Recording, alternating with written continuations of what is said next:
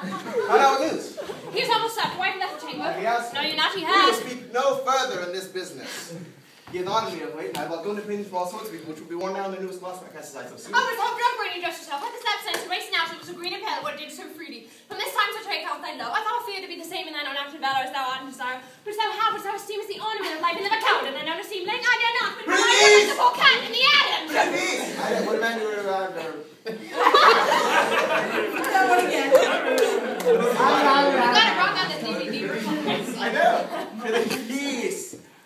I dare not make me come back to this more than Oh, what being supposed to then they made to break this enterprise to be when you just then you were a man. To be more than what you were, you would be so much more than the man, no time, no place, and here and yet you would make both. They've made themselves, and so now their fitness doesn't make you. I've given suck, and no attendages to love the babe that milks me. I would, while I was smiling in my face, have plucked mandible from its bonus scabs and dashed its brain out, and I so sworn as you had done to this. You fail?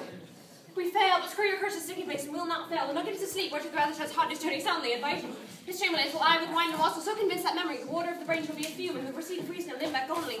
When twice to sleep, the dirty nature's lies, and death, what can I you and I perform upon the unguarded dungeon when not put upon to split you off, who shall bear the guilt of Albert Quill? We will mention only for that done better for those men notable tales will not be receiving a mark about those secret in the chamber and very negative. They Who dares speak others? We shall make a brief and time a roar upon his death. settled in bed that each corporal agent this terrible feat. Away among town fair shelf also must tag